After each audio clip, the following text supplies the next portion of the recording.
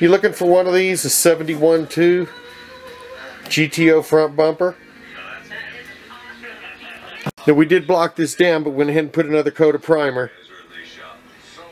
Just so whoever got this would did have plenty of primer and block out real nice and straight.